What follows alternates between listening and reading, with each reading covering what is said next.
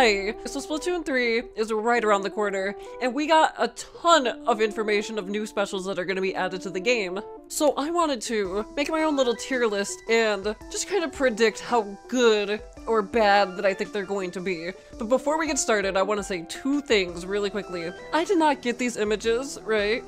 Somebody else completely got them, not me. You know, I don't want to take credit for that. And two, I'm gonna get rid of the D tier. I just don't think it's fair to put any special that low when we haven't even played with it yet. Okay, so I gotta say, this one that's supposed to be kind of like the Stingray, kind of not, I think this one has some potential. I don't think it's gonna be like phenomenal, I don't think it's gonna be S tier, because I'm not sure if you can like control it or not, but either way, I think it'll still be really good at putting pressure at a certain spot, so I'm going to just put that in A tier, I think that one's gonna be pretty good. I think this is the new Inkzooka, I think so, at least. And once again, long range pressure, being able to just do all that stuff from a range. Probably going to be a one-hit kill, just like Inkjet. I think it has a lot of potential. I'm also going to put that in A tier. Now, the Ink Vacuum. Okay, I've heard a lot of mixed opinions on this one, right? Like, I heard it's gonna be like super overpowered in like splat zones because you could easily hold it on the splat zone and nobody will be able to take it. I'm not sure if it'll be able to be easily approached from behind. Like, if you just approach it from behind, take out the person that's using it. And not only that, but like, have we seen it absorb sub-weapons or special weapons? Or is it just from the main weapon? Because if, if that's the case, I don't think it's going to be that great. I don't think a lot of people are going to just purposely shoot their main weapon into it. So I had to put that in one in C tier. Funny enough, this is actually the special that I'm most excited for. I just think it'll be really fun to mess around with it and have fun with it, but I feel like on like a competitive state, I have to put it in C tier. And now for the Zipcaster, okay. I don't know, that's gonna be a tough one really. Not sure about this one either, because it's either going to be really good or really bad. I just think it depends really. Like, I don't think it's gonna be terrible, but, you know, if it's like Inkjet, they could just camp it out right at your jump when you're coming back.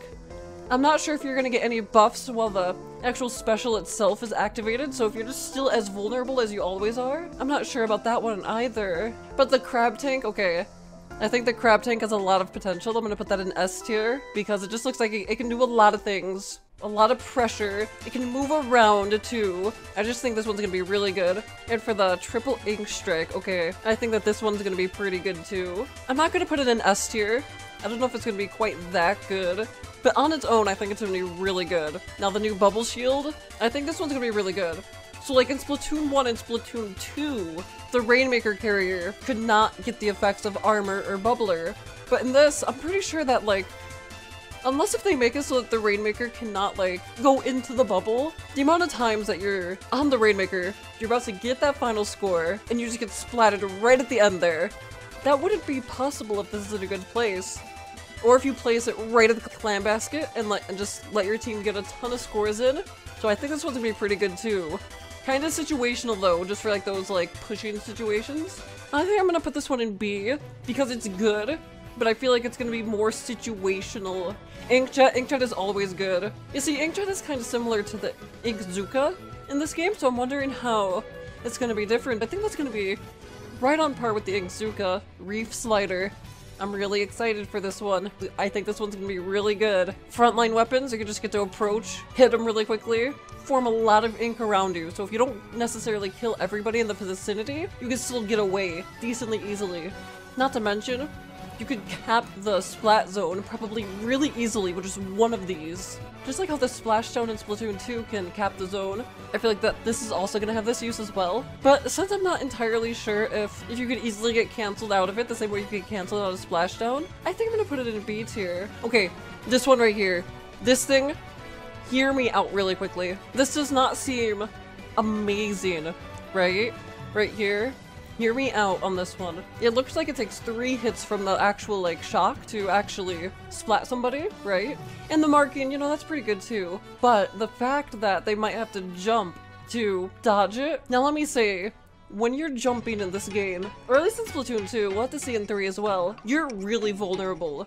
Not only are you stuck in the air for a second and you can easily get taken out, you're easy snipe targets when you're jumping. You're reticled on splatter shots and blasters, those go crazy. Those get crazy large. And it is so difficult to aim while you're jumping. So if you like throw this in the splat zone or on the tower and force the enemy to keep on jumping, that's gonna put them in a really bad spot sometimes. So I'm thinking that this is also gonna go in B tier because it's gonna be situational too. Ultra Stamp is Ultra Stamp, I think it's really good. In B tier. Now don't get me wrong, I really like Booyah Bomb, I think this one's gonna be good too. Let's put Booyah Bomb in A tier. Now the Tentacola. So all we've seen so far is the speed boost that comes with it, but the they specifically said that there's going to be more buffs than just the speed that goes with it. So maybe since they got rid of like damage up and main power up, maybe you'll get a damage buff too. And that could be really nice making like Rainmaker pushes. Like imagine if a Rainmaker could have a Tentacola and you could just like speed through after getting one. I think this one's gonna be pretty good. Maybe it's gonna be a little more situational, so I'm gonna put it on B tier. Inkstorm, okay, hear me out. Inkstorm was good before, but in the triple three-way Splatfest, you throw down an Inkstorm and you're not just covering one other team, you're covering two other teams with ink. So I feel like the Inkstorm is gonna be good too for the triple Splatfest, so I gotta put that in B tier. I don't know where to put these. I gotta be real with you. I think Tentamissiles are probably getting nerfed in Splatoon 3. I don't know if that's gonna be the case or not, but even if so, picture this, right? Someone throws Tentamissiles at you, right? You're trying to push the clam basket, someone throws down the bubbler shield. Assuming that the bubbler shield can also tank specials too. If it could just tank a Tentamissiles like that, then that'll be really good. Because even while Ink Armor could save you from a hit or two of the of the Tentamissiles, it's the missiles just straight up could not reach you. That'll be really good. And imagine if like the vacuum cleaner did absorb specials too. Or at least maybe some specials, not all of them. Someone throws missiles at you and unknowingly is actually just charging up your vacuum attack. I think that would be really good. So I really, I really don't know where to put Tenta missiles. I guess it just depends on what they decide to do with them in the game. I feel like Tenta missiles might also be outclassed in this game. At least a little bit. I don't know. I just have a feeling that this game is going to be not as missile heavy. So I'll put it in B tier. And I'm not sure what this is actually. Uh, it looks like Splashdown, but I don't remember seeing a Splashdown in the game. I'm probably just forgetting it. Oh well. Anyway, let me know what you guys think about this. If you agree or disagree, let me know where you guys would personally put all this stuff. And yeah, thanks for watching. Bye!